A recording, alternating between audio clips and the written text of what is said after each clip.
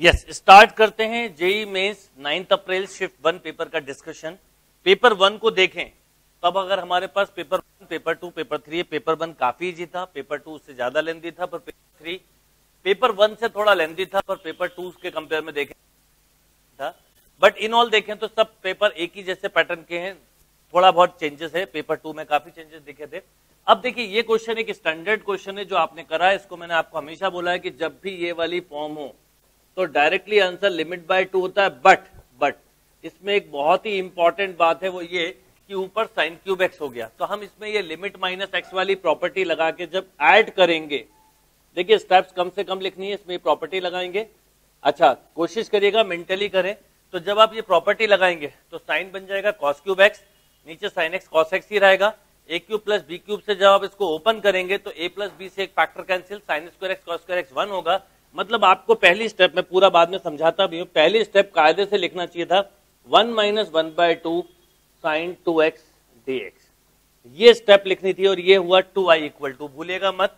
अब to I equal to अब देखिए इसके इंटीग्रल लिख सकते हैं x minus one by four cos two x और कॉस आया तो प्लस जब भी सी आएगा तो माइनस तो zero two pi by two then two I equal to pi by two plus यहाँ जब पाई बाई टू रखेंगे तो कॉस पाई मिलेगा तो कॉस पाई कितना? माइनस वन तो माइनस वन बाय फोर अब ज़ीरो रखा तो ये ज़ीरो और ये फिर माइनस वन बाय फोर यानी प्रैक्टिकली देखें तो टू आई इक्वल टू मिला pi by two minus of one by two divide कर दिया टू का तो pi by four minus one by four is a final answer right ये actual step होना चाहिए। मैं हमेशा आपसे बोलता हूँ कि क्वेश्चन सॉल्विंग टेक्निक्स अगर स्ट्रांग है तो आप क्वेश्चंस को बहुत अच्छे से हैंडल कर सकते हैं।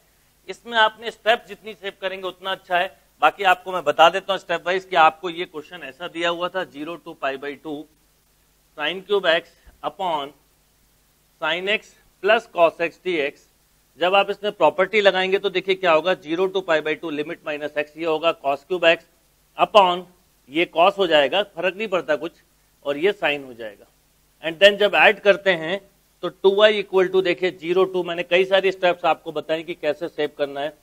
Plus cos cube x upon sine x plus cos x then इसके बाद a cube plus b cube का जब फॉर्मूला यूज़ करेंगे तो आप लिखेंगे sine x plus cos x into sine square x plus cos square x minus sine x cos x अब देखिए, ये हो गया कैंसिल और ये हो गया वन तो one minus sine x cos x then two का मल्टीप्लाई टू का डिवाइड तो ये साइन टू एक्स तो आप देखिए, मैंने पहले लिखी, यानी मेंटल कैलकुलेशन करेंगे तो आपका टाइम भी सेव होगा और आप मोर अटेम्प्ट पाएँगे।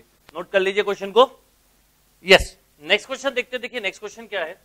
Cos square ten plus cos square fifty minus cos ten cos fifty देखिए, ये टेन ये टेन और फिफ्टी है। एक काम ये कर सकते हैं, हम इसमें दो तीन फॉर्मूले अगर यूज़ करें तो अच्छा रहेगा। ध्यान रखिएगा, ये फॉर्मूले समझाने के लिए लिखा है।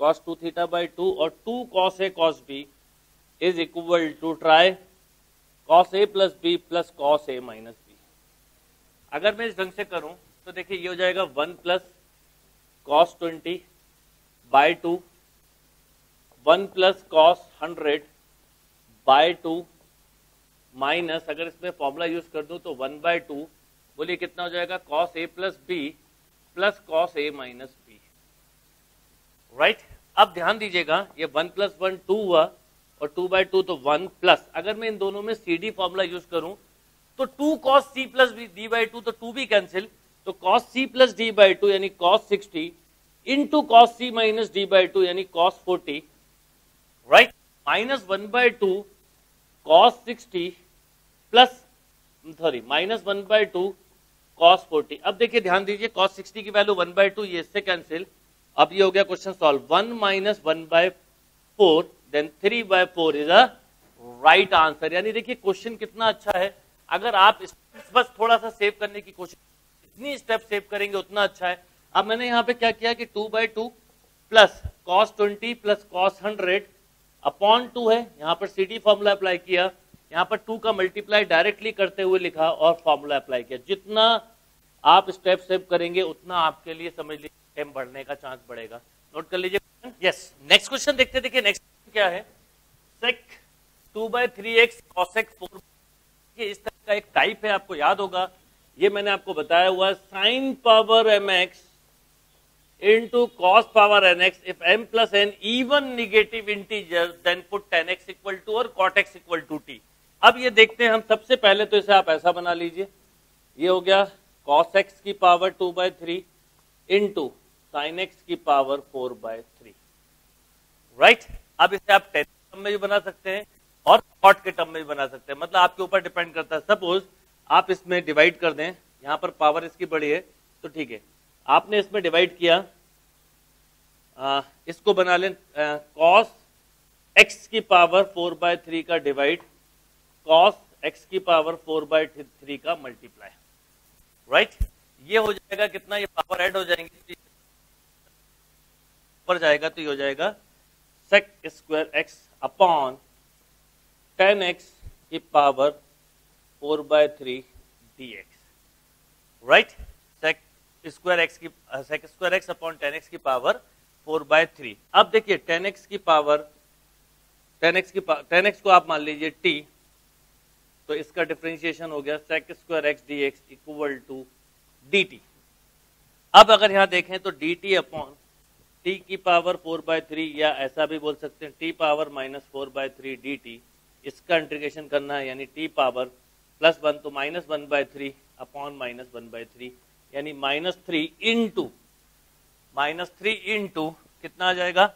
यह जाएगा टेन एक्स की power minus one by three ऐसा भी बोल सकते अच्छा एक बात अब इसको वन अपॉन करके भी लिख सकते हैं तो आप ऐसा भी लिख सकते हैं minus of three cot x का पावर क्योंकि अपॉन में चला जाएगा, ऐसा लिखेंगे आप देखिए टेन एक्स की power minus one by three इसको ऐसा भी लिख सकते हैं वन अपॉन टेन एक्स की पावर वन बाय थ्री यानी आप ऐसा बोल सकते हैं वन अपॉन कॉट एक्स की पावर मतलब ओवरऑल ऊपर देखें तो ये ऐसा लिख लो इसको।